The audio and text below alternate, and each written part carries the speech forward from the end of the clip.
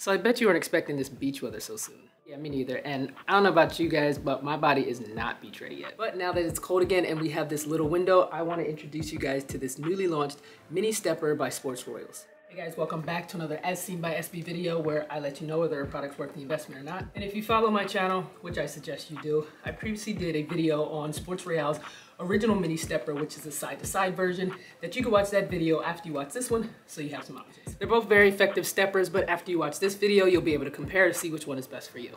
Also in the very near future, I plan on doing a steps challenge, so if you wanna join me with that, be sure to check the description box below or the pinned comment where I've left the links to purchase either the steppers. And if you already have one, dust it off and let's get to stepping.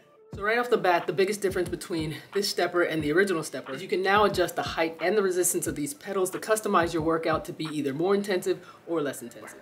Just loosen or tighten this knob in the back to match your comfortability. And the reason that's a game changer is because now you have the option to either do steep climbs when the pedal is at the peak height with max resistance or the high intensity quick mini step workout requiring low resistance. And what I love about all mini steppers is that this is compact and portable. And the best part is the stepper comes fully assembled right out of the box and only weighs 16 pounds, so I'm able to move it around the house. But best believe I will be doing some outdoor workouts, so be sure to follow me to check those out. Also, keep in mind that while mini steppers are convenient and compact, they're not all created equal. And what makes this stepper stand out is that it doesn't feel cheap, it's sturdy, and it holds a max weight of 330 pounds. And as you can see, it's built with hydraulic cylinders, meaning it uses fluid as resistance, which allows for a smoother motion while also avoiding that annoying squeaking sound. I also appreciate that it has large pedals to accommodate up to 11.8 inches because ironically, I have gigantic feet for my height and I haven't had any comfortability issues with these pedals. It also includes this easy to read digital monitor to keep track of your step count, minutes, and calories burned.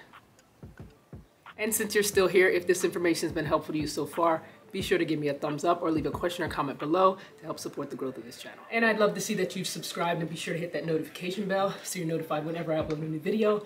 But for now, let's continue on. Now, I've been using my stepper almost every day now, and this thing has really proven that a little goes a long way. Because after 10 minutes, my legs are burning and feel like noodles after I get off of this. But the best part about mini steppers is that it can provide a whole body workout. So not only does it help to shape and tone your legs, calves, and hips, but by incorporating these resistance bands that's included, you can work out and strengthen your arms, shoulders, back, and chest. But as with all steppers that use these hydraulic tubes, be sure to rest the unit after 20 minutes to avoid any potential overheating. Now don't go blaming me if you get caught off guard again when the weather gets hot this time around because I literally just gave you the summer body blueprint. And if that's not enough, be sure to check out my workout playlist that I've attached that includes a variety of home workout products that I know will help you to get summer body ready. But as always, thanks again for watching another As Seen by SB video where I let you know whether a product's worth the investment or not. Don't forget to like, comment, or share, but until next time, stay fit and take care.